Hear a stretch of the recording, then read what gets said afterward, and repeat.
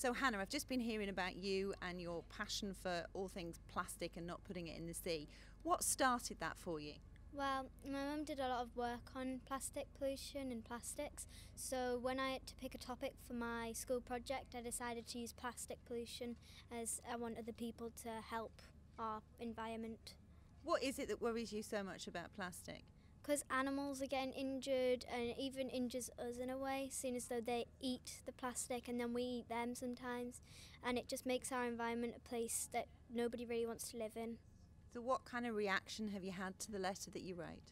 Well, I'm glad that people are like looking at it and people are happy and people are trying to do stuff because that makes me feel happy and that our environment can be a better place.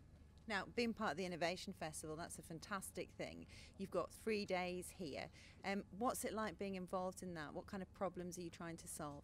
it's good and um, trying to solve problems like to make people recycle plastics instead of just getting them into the ocean so people can eat them and like just try and make people pick litter up and stuff if you find it on the floor.